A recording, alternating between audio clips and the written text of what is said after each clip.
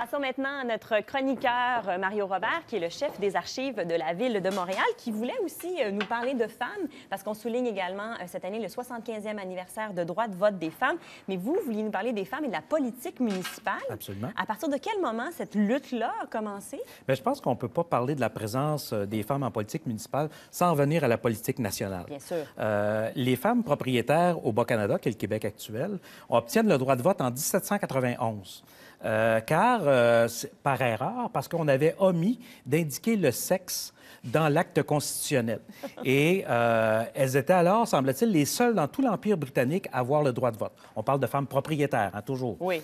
Euh, toutefois, les politiciens et les J'imagine patriotes... qu'ils ont corrigé leur erreur. Ben, les politiciens, les patriotes, Louis-Joseph Papineau en tête, Oui. euh, ont tenté à plusieurs reprises de leur enlever ce droit de vote-là. Mm-hmm. Et finalement, elles vont perdre le droit de vote en 1849 sous le ministère Baldwin-Lafontaine.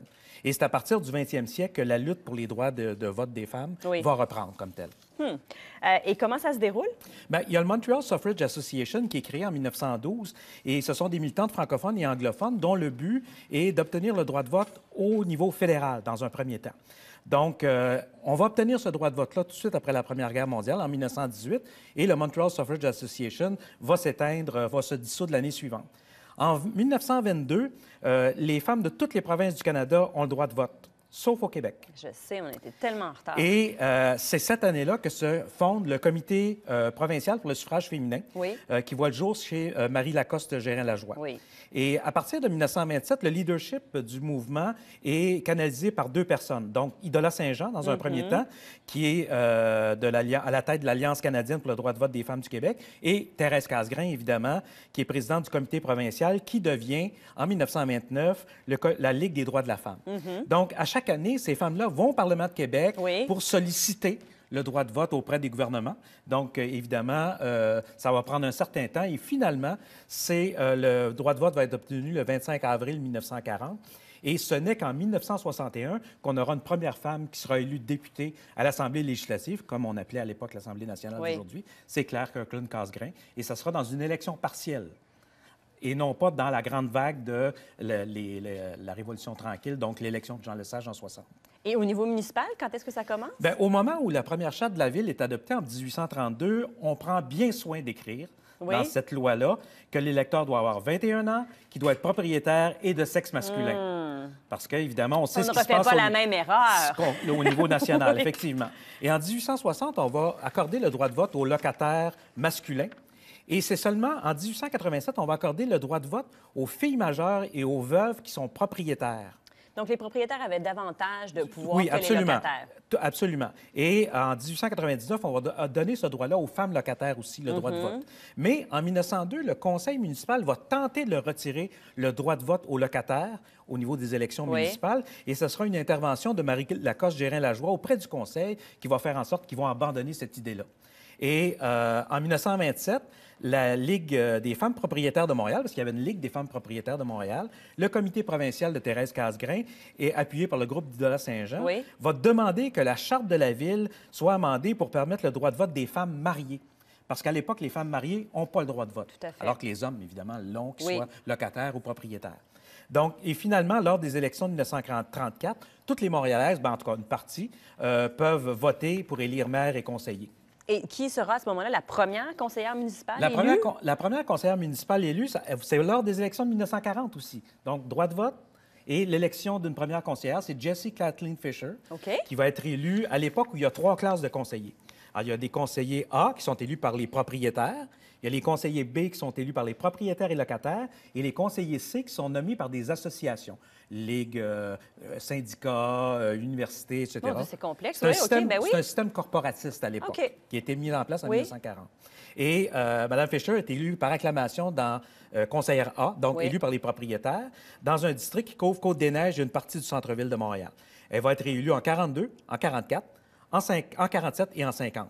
Malheureusement, elle va perdre ses élections en 1954 et elle va quitter la vie politique. Mais en juin 47, elle va être la première femme à présider une séance du conseil municipal. Parce qu'à l'époque, c'est toujours le maire qui préside. Oui. Et donc, le pro-maire si le maire est absent. Et à ce moment-là, c'était Mme Fisher qui a pu euh, diriger une séance du conseil municipal. Alors, dans ces années-là, entre 1940 et 1944, il y a trois femmes qui œuvrent au sein du conseil municipal. Il y a Elisabeth Monk, qui, euh, qui va être euh, une des premières femmes, qui va être une des deux premières femmes à être admise au barreau. Parce que le barreau interdit l'accès aux femmes. Oui. Et c'est en 41 qu'on accepte que les, les femmes peuvent accéder au barreau.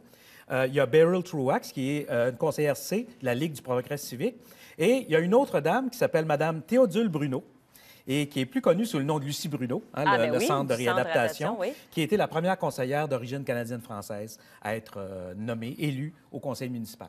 Et si je ne me trompe pas, le RCM, le parti de Jean Doré, a aussi fait beaucoup pour la cause des femmes en politique. Ben, entre 1940 et 1960, il y a six femmes qui ont, seulement qui ont été conseillères, puis ça prend euh, 15 ans avant que d'autres soient élues.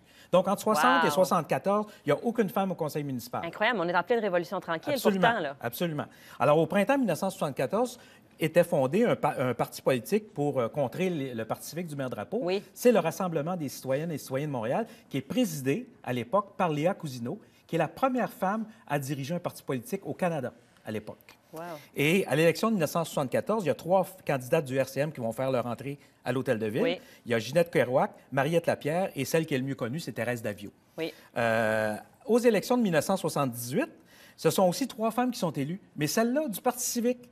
Donc, ça sera Carmen Millette, Nicole Gagnon-Larocque et Justine Santaine, qui va devenir, elle, la première femme à siéger au comité exécutif euh, euh, de la Ville de Montréal. J'ai un petit papier qui vient de tomber. Et en 1986, évidemment, avec l'élection de Jean Doré, ce sont 15 conseillères du RCM qui sont élues. Donc là, il y a vraiment un envol. Là, vraiment, il y a un envol à, à partir de ce moment-là. Et le maire va inviter trois hommes et trois femmes à, se joindre à lui pour former le comité exécutif. Ça, c'est vraiment euh, une primeur à l'époque.